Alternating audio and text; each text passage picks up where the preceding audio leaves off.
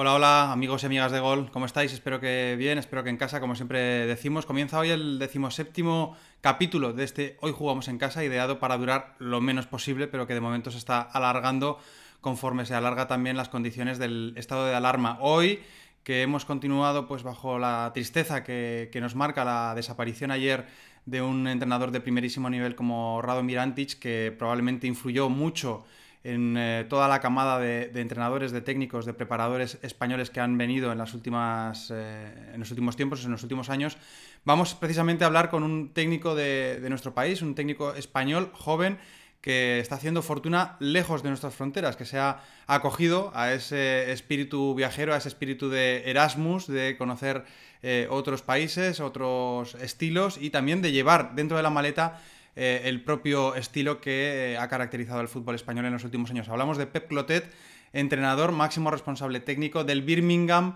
en la Championship, en el segundo escalafón del fútbol británico, del fútbol inglés.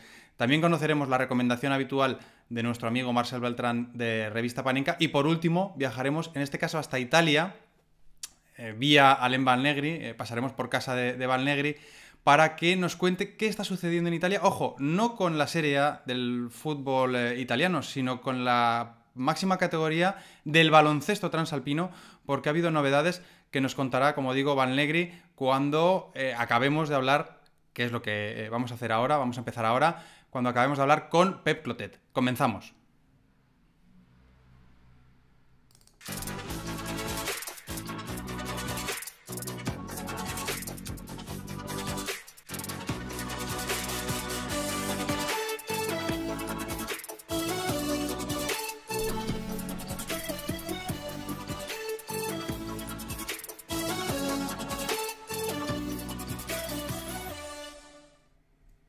Lo dicho, vamos a llamar, vamos a teclear el, número de Pep Clotet, que espero que nos esté ya aguardando al otro lado de la conexión.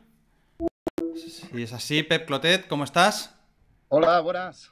¿Qué tal? Pues aquí en casa. Te, pillo en casa, ¿no? Sí, ahora me pillas en casa. Muy bien. Eh, ¿cómo, estás llevando estas jornadas de, aislamiento, estas jornadas de confinamiento ahí en Birmingham? Pues manteniéndome ocupado todo lo posible em, con el tema del equipo y, bueno, también poniendo, haciendo cosas que durante el año no, hemos podido hacer tanto y que ahora nos concentramos un poco más en ellas, pero sobre todo, sobre todo intentando, pues, como todo el mundo, ¿no? Mantenerse haciendo caso de lo que nos digan y manteniéndonos en casa y no poniéndonos en, en situaciones difíciles por el bien de todos. Mm. Oye, eh, comentábamos antes de, entrar directamente en, Hoy Jugamos en Casa que el, que el que está en estado como mínimo de, cuidados intensivos es el primer ministro de, Inglaterra, Boris Johnson.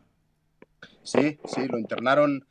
Eh, Boris Johnson cogió, cogió el virus en hace 10 días y, fue público también, lo dijo él. Fue positivo y estuvo en casa. Mm. Em, estuvo en casa durante 10 días.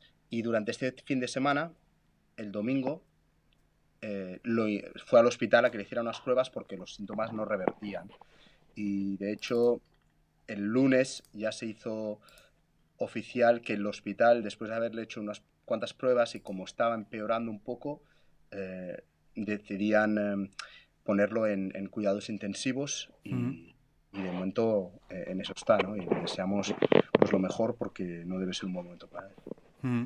Oye, eh, tú eres de Igualada, eh, Pep, si no me equivoco, que también es una localidad que ha estado bastante castigada eh, por el, por el COVID-19. De hecho, fue una de las primeras localidades en, Cataluña que, mereció prácticamente un confinamiento de toda la comarca, de, toda, de todo el, territorio que rodea a la propia Igualada. No sé cómo están tus, tus familiares y cómo han vivido esa, esa situación. Bueno, mi familia, por suerte, gracias a Dios, todos bien. pero bueno, sí que tengo tengo conocidos y amigos que te va llegando que, sí que lo han cogido, ¿no? Algunos con, mejor suerte y otros con, algo peor. Pero vaya, sí que ha sido una situación difícil para, para Igualada. Todo empezó en un viaje que unos empresarios hicieron hacia Milán eh, por el tema empresarial, por una feria que había en Milán durante febrero, creo que es, y luego coincidió que esos mismos empresarios, algunos de ellos se juntaron en una cena con, con staff de un, señor del hospital que se, se jubilaba y ahí fue la infección. Eh, eh, sobre todo fue, fue un momento difícil porque la infección se expandió a través de, del staff, de, o sea, del personal del hospital y esto hace que, que, la mayor parte de infectados en esa primera época en Igualada fueran, fueran eh, trabajadores sanitarios y eso puso a la ciudad un poco en una situación difícil. Se expandió y sí, eh, el gobierno acordó cerrar la ciudad y de hecho eh, fue todo un poco pues una aventura porque mi familia estaba conmigo el mismo día que Luciana estaba conmigo aquí en Birmingham. Bajaron ellos con la intención de que yo volviera la semana siguiente porque había paro internacional. Sabes que la Championship también para por, por, cuando juegan las elecciones. Y tú pues nada, fueron ellos al llegar, eh, los llamé, me enteré de que Igualada iba a estar puesta en cuarentena em, a las 12 de la noche y claro, ellos acaban de llegar, o sea que ya estaban bien, podían haber vuelto. Le dije, de hecho, le digo a Vanessa, digo, oye, em, cogeros el avión o volveros a subir aquí, porque, porque para estar así, claro. si es para no saber cuándo, ¿no? Y, y, pero bueno, preferimos hacerlo así, ellos ahí también están seguros. Y, pero claro, ha, imposibilitado que yo, que yo pudiera bajar. Ahora sí que es cierto que, ya es una situación más normalizada, más, más igual que, en el resto del Estado, por lo tanto ahora sí que hmm. sería más fácil poder, poder llegar. Hmm.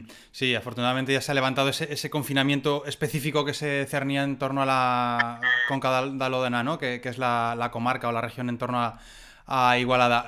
Tú decías que eh, precisamente los viajes de parte de la eh, comunidad industrial, empresarial de, de Igualada habían posibilitado, habían permitido que llegase el COVID-19 a la, localidad, pero es que realmente estamos en un mundo, Pep, absolutamente globalizado y tú en tu profesión em, eres un, símbolo de, esta globalización y de esta internacionalización, ¿no? Eh, comienzas en las categorías inferiores del, español, juveniles, filial, pero luego tienes una excursión por los países escandinavos, vuelves a Málaga, mm, te vas a Inglaterra, eh, has estado constantemente viajando, mm, mm, diríamos filosóficamente, eh, supongo que eres un poco producto de todas estas experiencias que tienes, ¿no? Sí, absolutamente. Eh, de hecho, puedo decir que a mí, a mí siempre me ha gustado mucho viajar y, buscar un poco experiencias en, todas partes, ¿no? El fútbol tiene la ventaja de como está tan expandido internacionalmente, eh, sí hay fútbol en todos los lados y, yo siempre lo había hecho, incluso cuando estaba entrenando en las categorías inferiores del, del español, había hecho muchos viajes por mi cuenta eh, para ver cómo se trabajaban en, muchos tipos de países, ¿no? En, Alemania, en Holanda, en Francia. He ido hasta Japón a ver cómo, cómo hacían los entrenamientos en Japón, porque también se hacían cosas bien, ¿no? Y, sí que es cierto, fue salir de, del español con una posibilidad de poder eh, hacer de segundo entrenador de, Roland Nilsson en el Malmo.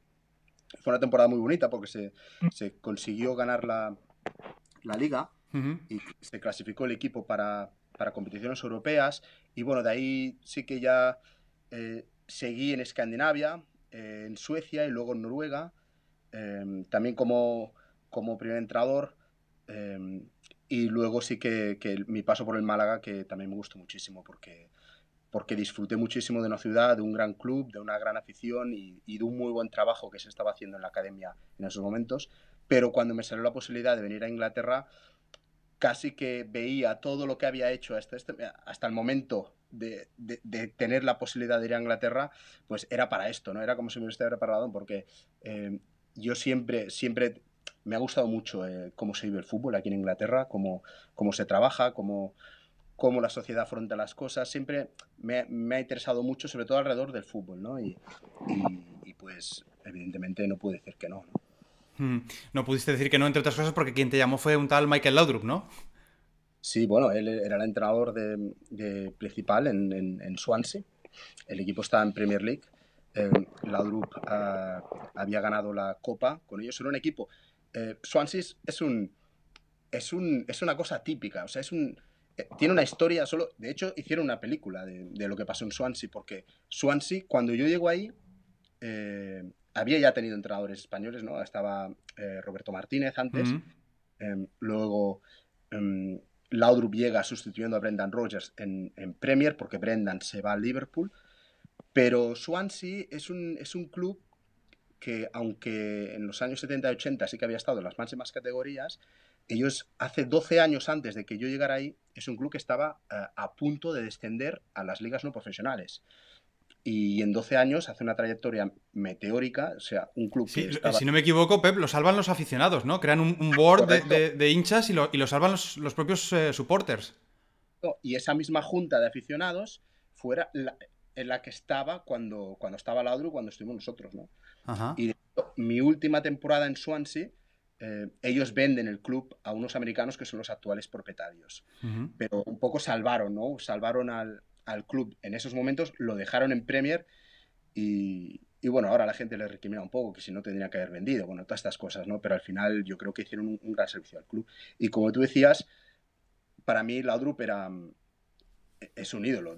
como jugador había sido siempre un ídolo. Siempre me había fijado muchísimo en, las cosas que él hacía, porque lo veía siempre que iba un paso por delante, ¿no? Con una marcha más que los demás, hmm. eh, físico, pero a nivel, a nivel táctico, a nivel técnico, iba, iba por delante de todo lo que, lo, que hacían los demás, ¿no? Y siempre, eso me había traído siempre muchísimo. Y cuando, cuando llamó para, para ayudar en ese proyecto, pues claro, es que no podía decir que no. Primero porque él es un gran entrenador. Em, no solo lo ha demostrado en España, lo ha demostrado también aquí en Inglaterra, pero además em, e, lo mismo, el mismo fútbol que, hacía como jugador es el que él trabajaba y el que él quería y el que él amaba también. Eh, y el que ama, ¿no? Desde entrenador y eso yo estaba muy interesado en, poderlo conocer de primera mano, eh, después tienes un, paso por, por, eh, por, el primer equipo ya con, con Gary Monk con el que también empiezas trabajando en, Birmingham y ahora esta temporada ya eh, primero interino y al final ya asentado a partir del mes de diciembre, si no me equivoco, Pep. Eh, te pregunto, eh, estaba repasando ahora, son 24 equipos, recordemos, la Championship es una, es una competición eterna, tiene que ser durísimo, son 46 partidos y si encima no consigues ascender como primero o segundo, te toca todavía jugar un playoff con ida y vuelta en semis y un partido eliminatorio ya gran final en Wembley. De esos 24 equipos, Pep, solamente hay 7 cuyo técnico no sea británico. Es decir, que esa globalización de la que estábamos hablando antes en torno al fútbol británico fútbol inglés específicamente, eh, no se da tanto en la, en la Championship. Hay mucho entrenador inglés, norirlandés, escocés, galés, eh, con lo cual me da la sensación un poco de que tú sí, estás en Inglaterra, pero estás en una competición que todavía mantiene las esencias del viejo fútbol británico. Sí, mucho más, mucho más, porque de hecho eh, está categorizado diferente. Por, por, una parte, la Premier League es una liga un poco más corta, ¿no? Más, más similar a lo que es la liga española, con 20 equipos. Eh, y la Championship sigue el modelo inglés, forma parte de la EFL, de la, English Football League, eh, y, se rige, que rige desde Championship hasta League 2, ¿no? Bueno, y, y por debajo también. Y aquí son 24 equipos y evidentemente eh, con un calendario que, lo que es es una trituradora, es una trituradora de partidos porque eh, jugamos sábados, martes y sábados y esto, mira, nosotros contábamos con, Alberto Escobar, eh, mi ayudante, y con Xavi Khan, también españoles que están conmigo, contamos, esta mañana hablaba con Alberto y, y contamos que los nueve partidos que nos faltan por jugar, son los mismos partidos que nosotros jugamos en un mes y cuatro días durante febrero. O sea, imagínate, es que, es que eso es una barbaridad de partidos y esto es lo que es un poco la Championship. Y sí que está un poco más el estilo este, quizá el fútbol es un poco más internacional en la Premier y aquí aún, aún queda el, punto este de fútbol eh, muy británico, muy inglés, que, también le da un punto muy positivo, ¿eh? porque, porque el, el, aficionado, el campo, el ambiente es, es quizá eh, se valoran otros aspectos que no, pas, eh, que no eh, en los equipos de Premier, ¿no? que a mí también, también me gusta mucho. ¿no? Yo, por ejemplo, me chocaba mucho en el principio aquí en Championship, pero, pero ahora ya estoy acostumbrado. Se celebra igual em, un córner a favor, que, que, te voy a decir que, que, que, cualquiera de nuestros jugadores haga una entrada, toque balón y arrase con todo, ¿no? Por decirte algo. Un tackle, ¿no? Sí, tackle, un tackle. Eh, se celebra igual, igual, ¿eh? medio gol, ¿eh? medio gol. Sí, sí, esto es un poco que te impacta mucho, ¿no? Claro.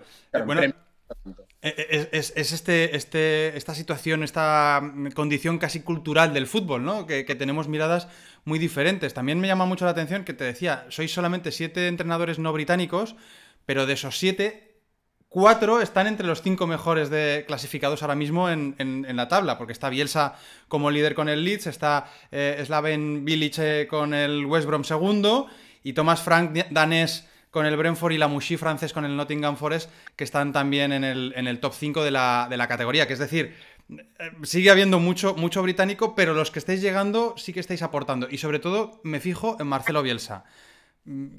¿Cómo, está siendo el, fenómeno Bielsa visto desde un entrenador de Championship como tú? Eh, bueno, conmigo es muy fácil hablar de, Marcelo porque yo lo tengo mucho aprecio. ¿eh? Entonces, eh, yo siempre, de hecho, siempre le había dicho personalmente a él antes de llegar aquí a Inglaterra que él debería venir aquí a Inglaterra porque pienso que, su fútbol es para, para, esto, ¿no? que, lo van a coger muy bien. el Leeds es que son dos cosas. Es que no solo es Marcelo, sino es que es Marcelo y el Leeds United. Mm. Y, yo en el Leeds he trabajado un año, hicimos una gran campaña también, y es un club eh, que yo me lo siento pues con mucho, con mucho amor, ¿no? Porque es un club muy, muy especial, es un gran club de los quizás de los más grandes de Inglaterra, el Leeds United, aún estando en Championship, mm. y no es difícil de manejar, no es difícil de, de, de vivir a esa expectativa. Y Marcelo no solamente ha conseguido que, el Leeds del paso ese de, entrar en playoff o entrar en ascensos, nosotros acabamos séptimos, nos quedamos a, nos faltó un punto para entrar en playoff. Pues Marcelo ha conseguido dar ese paso, pero además ha conseguido un poco también cambiar la cultura, porque el Leeds era un, equipo precisamente que valoraba lo que te estaba comentando antes, ¿no? Y ahora valora el, buen fútbol, el fútbol de intensidad, el fútbol un poco que, que, desarrolla Marcelo. O sea, que, que que yo le pondría un 9 de 10, sino para ponerle un 11 de 10, ¿sabes? A lo que Marcelo está haciendo ahí, porque las circunstancias no eran fáciles en, en, clubes así de, de estas características. ¿eh? Hmm.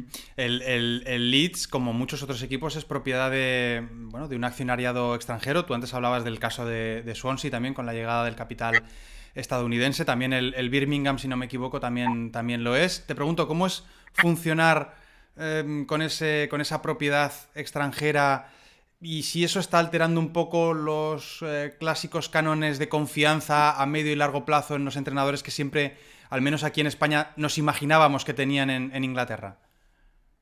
Eh, sí que es diferente, porque yo en Swansea viví la, eh, época de, de, la Junta formada por este grupo de aficionados, que, de aficionados que luego al final regentaron ese club durante 12 años y al final sabían muchísimo.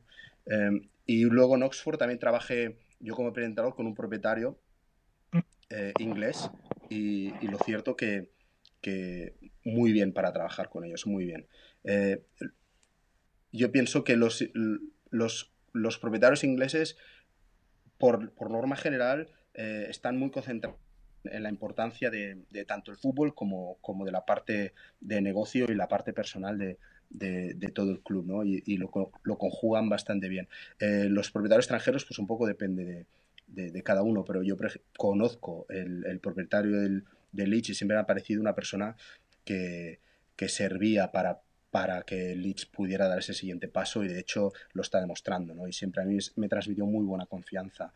Y nuestro caso em, son los propietarios chinos, que ahora la mayoría de los clubes de Birmingham, todos los clubes profesionales de Birmingham son, son de propiedad china. Eh, y, y, sí que debes, debes aprender un poco a trabajar con ellos, porque son diferentes culturas y, y son diferentes formas de hacer. Pero sí que supongo que que ha cambiado un poco, hace que cambie un poco la mentalidad esta. Eh, no te sabría decir porque al no ser inglés tampoco tengo los estándares que tienen ellos en cuanto a propietarios, pero, pero sí que sí que, que, lo escucho cuando me lo comentan, ¿no? Que, que, no es lo mismo, que ellos notan mucha más diferencia. Nosotros eh, en España, y yo eh, lo digo con mucha humildad, pero al final he trabajado en diferentes culturas y he tenido, si una cosa me ha servido es pues para, para aprender a llevarme bien con, muchas diferentes culturas. Y esto un poco, un poco sí que, sí que me ha ayudado, pero eh, es importante que, hagamos el esfuerzo este por, por entender a la propiedad y por saber lo que la propiedad eh, cómo la propiedad trabaja y por buscar una manera de trabajar juntos siempre. Eso es muy importante. Oye, eh, esto de que, de que los equipos profesionales de, Birmingham sean propiedad china, ¿es, es una casualidad o, hay una estrategia ahí detrás que no, no acierto a entender? Bueno, eh, también en la Premier pasa porque hay muchos propietarios en la Premier que yo tenga en la cabeza, pues Southampton, Aston Villa, que también es de Birmingham. Em, bueno, más habrá, ¿no? Que no tengo yo ahora Sí, sí, no, y aquí en España, por ejemplo, el español también es propiedad de un, de un máximo accionista chino, pero, pero me, me, haya sorprendido el, el, detalle este que decías de que, de que en Birmingham coincide que, que, tanto Aston Villa como vosotros, Aston Villa, por cierto, con, con Suso García Pitarch como, como director general o director deportivo, con, con, Pepe Reina, ahí en el, en el Birmingham también estás, aparte de tú y, de tu, y parte de tu staff, eh, está Moja, eh, si no me equivoco, Jeremy Vela, que el año pasado le vimos en el, en el Alba, en el Albacete. Bueno, tenéis ahí una pequeña comunidad, ¿no? No sé si, hay mucho contacto entre una parte de la ciudad y la otra. No, los, a los jugadores los dejamos un poco que, que como se dice, ¿no? Ya, ya estoy bastante encima de ellos durante, el trabajo.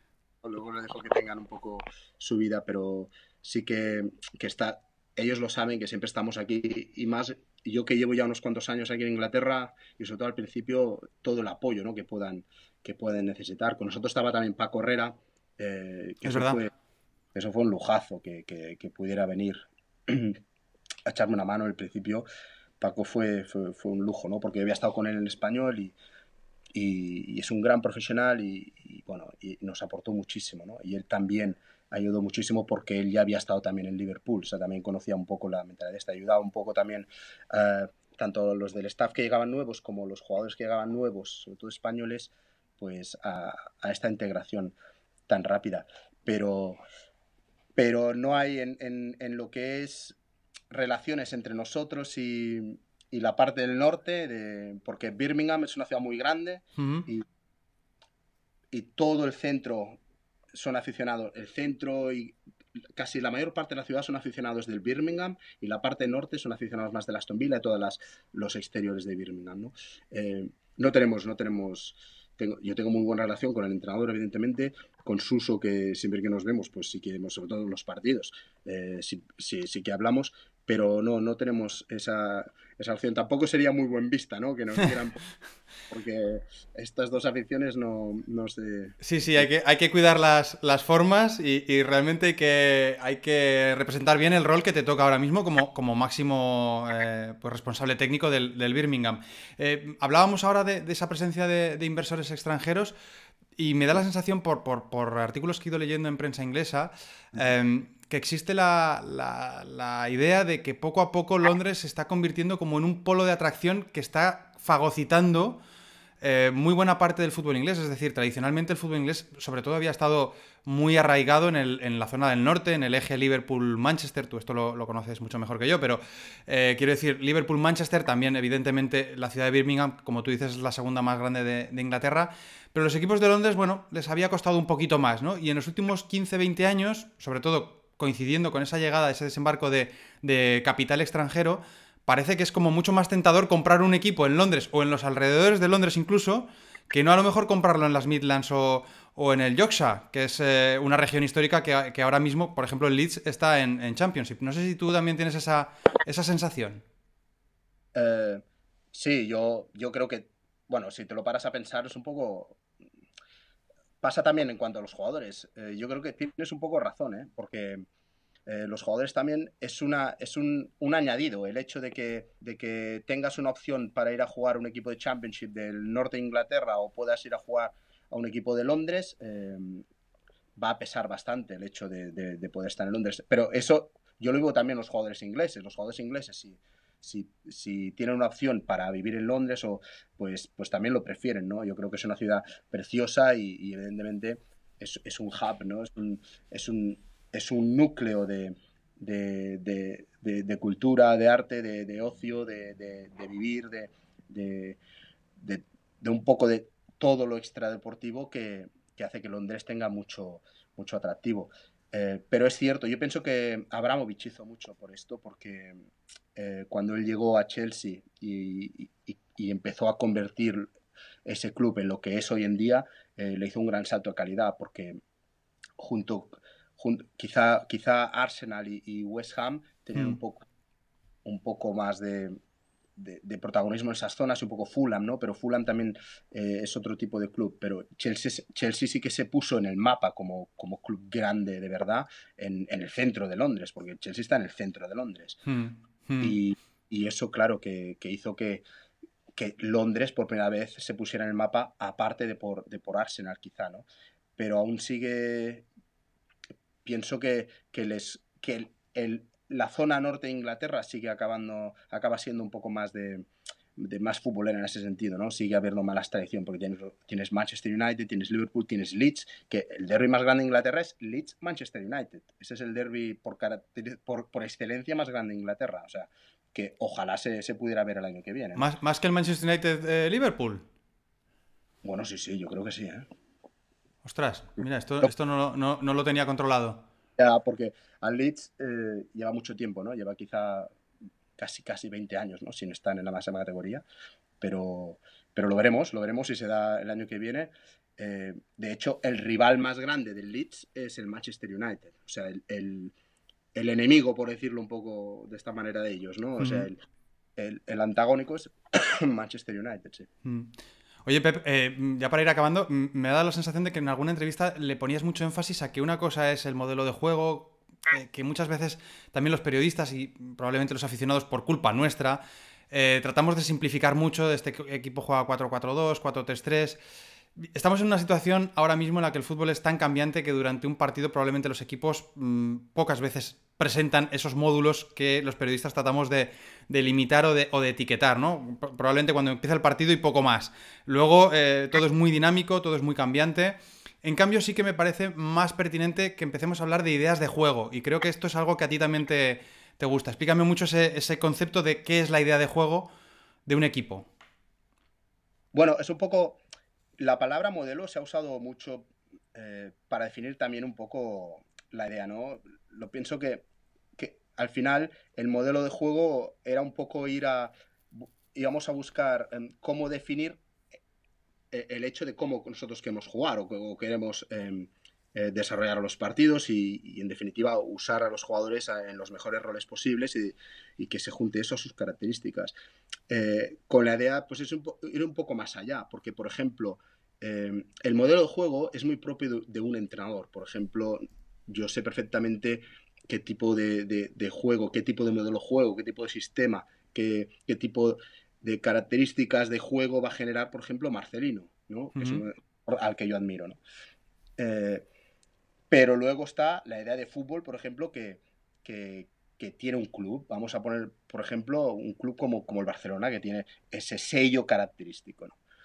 Yo creo que como entrenadores debemos saber eh, juntar nuestra propia idea con la idea del club. Y, debemos siempre tender a, dar pasitos hacia esa idea del club para, intentar mejorar lo posible, ¿no? en lo posible es un poco como ir un poco más allá de este, de esta, de este modelo de juego. ¿no?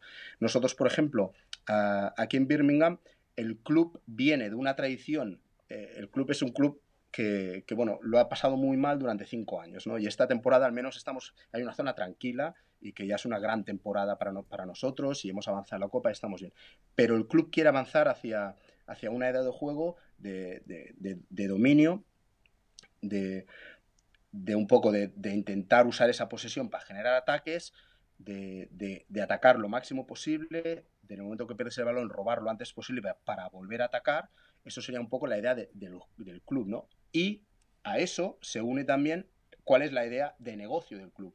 Pues puede ser desarrollar uno o dos talentos cada año para poder eh, de esta manera, porque no, hay, que olvidar. es que tenéis que cuadrar muchas cosas, en ¿eh? los entrenadores. Vuestra idea de juego, la cultura del club y del aficionado, el eh, modelo de negocio y luego las características de los jugadores que tú te encuentras, sobre todo la primera temporada, porque luego si te van manteniendo y bueno, pues puedes ir un poco modificando, ¿no? A base de fichajes y de, de salidas, pues supongo que, sí que acabas consiguiendo una plantilla acorde a, tu, a tus necesidades o acorde a tu idea de juego, pero al principio te toca trabajar con lo, con lo que tienes. Oye, Pep, em, ya por, ir acabando, ¿te parece que te, haga un pequeño test? No te voy a poner en apuros, ¿eh? Te lo prometo.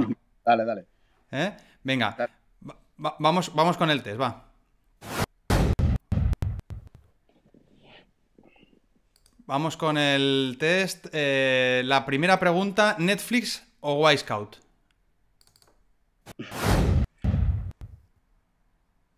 Se, puede, se pueden... puedo decir marcas aquí, ¿no?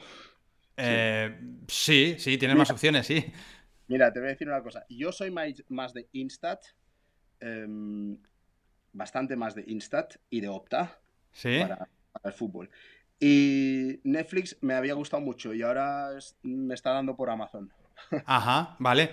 Ahora te preguntaré por una serie. Em, la, la, segunda, eh, ¿qué no falta nunca en tu nevera? Porque tú te encargues de, que siempre esté ahí eso que, te, que más te gusta.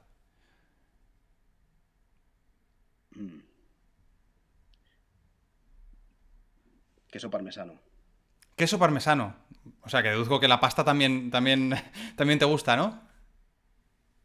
Sí, sobre todo, sí, sí. Y, el queso parmesano yo creo que es como le, que le, va tan bien a todo. Claro. Em, ¿qué hay, eh, hay algo que estás aprovechando para hacer en esta cuarentena o en este confinamiento que a lo mejor durante la normalidad de, la rutina no, no podías hacer? Pues sí, aunque sigo trabajando muchísimo, sobre todo en, hago mucho scouting, ¿no? Para, analizar jugadores, para, el futuro y, analizar mucho lo que ha pasado este año, pero sí que estoy pues cocinando más, un poco más, volviendo a cocinar y, esta vez no estoy haciendo supervivencia, estoy haciendo cosas, digo, oye, pues ya que estamos así, pues vamos a darle un poco más, ¿sabes? Estoy buscando cosas, pues mira, eh, un poco más complicadas, a ver cómo sale. ¿Alguna filigrana más, eh? Una filigrana más, sí. estamos, estamos, estamos saliendo del, del 4-4-2 básico y nos estamos ya metiendo un poco en el juego de posición, ¿no? Sí, sí, pero poco a poco, ¿eh? poco a poco, porque al final, al principio se, se pierde muchos pases, ¿eh? pero bueno, se aprende. y tocar la guitarra, ¿sabes? Que es una cosa que también siempre me ha gustado y siempre, ahora tengo más tiempo, un poco más de tiempo. Muy bien. Eh, la cuarta, el compañero o futbolista a tus órdenes que, ostras, peor vestía o que en algún momento has dicho, tío, esto, esto no.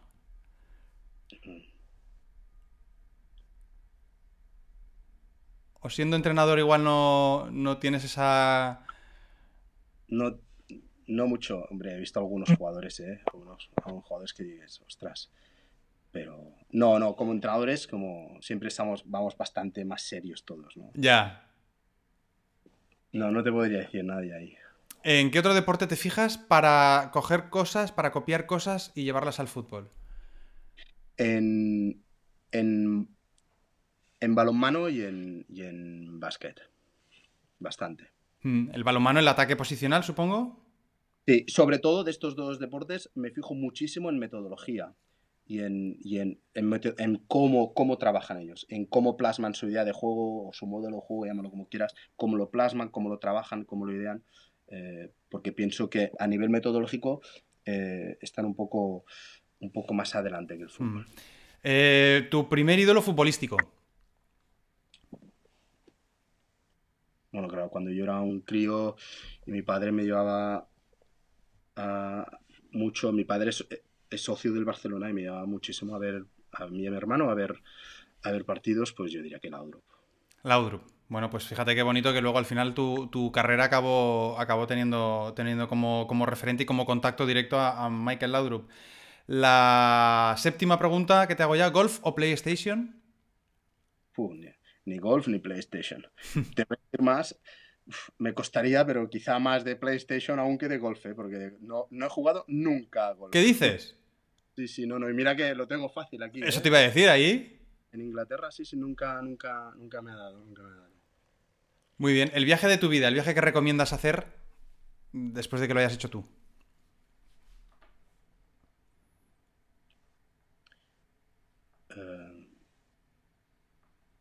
Coger el, pues mira, fácil y bonito. Eh, volar a, Oslo, en Noruega, o a Kristiansand, que está al sur de Noruega, mm. o irse con un coche desde casa, irse a Noruega y hacerse toda la costa de Noruega y el interior con coche, pero toda, ¿eh? Yo creo que eso es una experiencia única. También debe ser cara, ¿eh? Porque Noruega no es barata. Bueno, por eso, pues llévate el coche. Yo, yo subí el coche me lleva, mucho, me lleva hasta el hornillo. ¿eh? ¿Ah, sí? La novena, si tu carrera empezase hoy, pero sabiendo lo que sabes ahora, eh, ¿harías alguna cosa diferente? ¿Cambiarías algún, algún paso? Mm.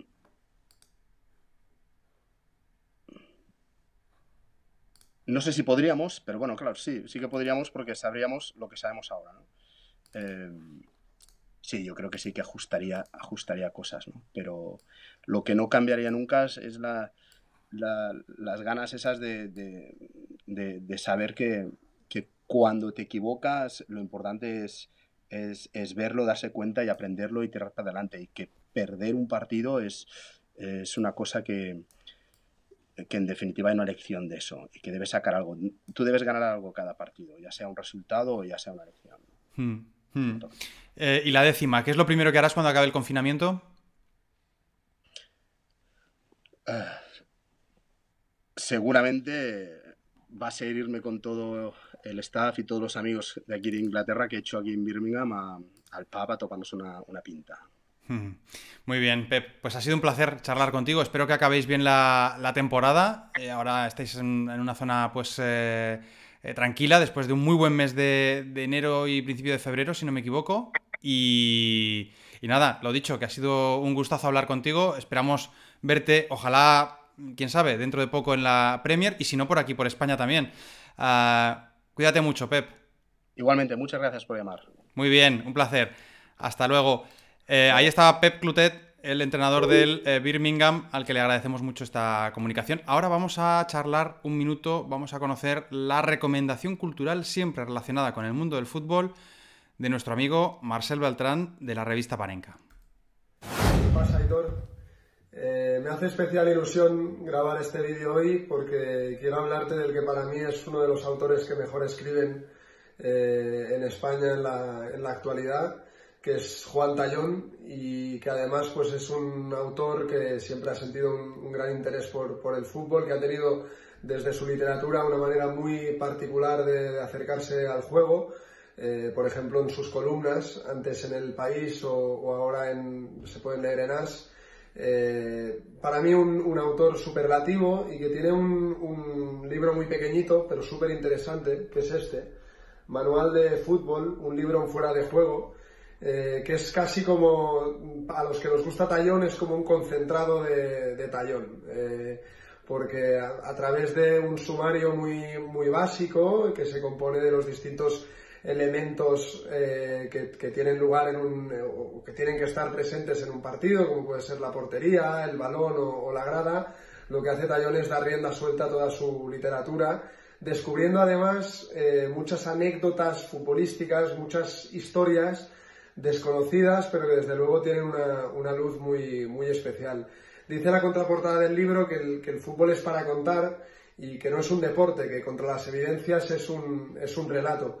Y, eso es lo que hace, lo que hace bien Tallón, demostrarnos por qué el fútbol es un, un relato, con una literatura, insisto, sublime. Espero que lo gocéis. Un abrazo. Pues ahí está, esa recomendación de Marcel Beltrán. Ahora pasamos por casa de Alem Balnegri, le subimos al eh, convoy y nos lo llevamos hasta Italia para conocer si la decisión que ha tomado el baloncesto profesional transalpino puede tener o no una traslación también al eh, fútbol.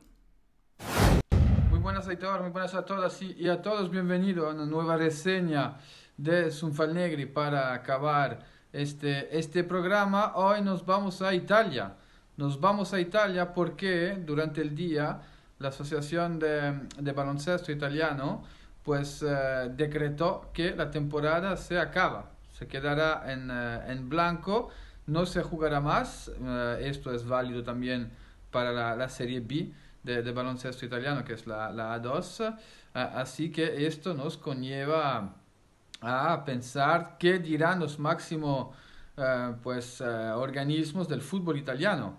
Eh, hoy Lotito, mm, presidente de la Lazio, dijo que no entendía por qué la Lazio no podía volver a, entrenar, que eran trabajadores eh, eh, y que el fútbol no era divertimiento para, para ellos. Así que pues empezó otra guerra para intentar justamente tener esta autorización para que la Lazio vuelva a entrenar. Pero el tema de discordia hoy en Italia es legado a la Serie B, a la Serie B donde hay un Benevento que tiene 22 puntos de ventaja respecto al segundo clasificado que es el Crotone, al tercer clasificado, perdón, que es el Frosinone, y el mismo Frosinone a través del presidente Stirpe dijo que eh, si no le mm, acordan la Serie A el año que viene, pues él tomará vías legales para intentar hacer valer la posición que tiene en, eh, en, la clasificación. No se entiende muy bien porque el tercero hace los playoffs y no es promoción directa. Esto, en mi opinión, es bastante pertinente como información porque eh, lanza uno, unas polémicas que podrían justamente ver el fútbol italiano muy involucrado este verano en, en los tribunales más que en los campos eh, debido al, al problema del, del, coronavirus. Os mantendremos eh, informado aquí en, eh, en Estadio y os deseo una, una buena noche. Adiós, chao. Ahí está, esa mirada de Valnegri para explicarnos eh, esa suspensión ya de las competiciones en el baloncesto profesional en Italia y si eso puede o no tener también una repercusión o un efecto réplica en el calcio. Bueno, hasta aquí esta decimoséptima entrega de Hoy jugamos en casa, mañana tendremos un nuevo invitado. Hasta entonces, lo que decimos siempre, hay que descansar, hay que estar tranquilos y sobre todo hay que estar en casa. Hasta mañana.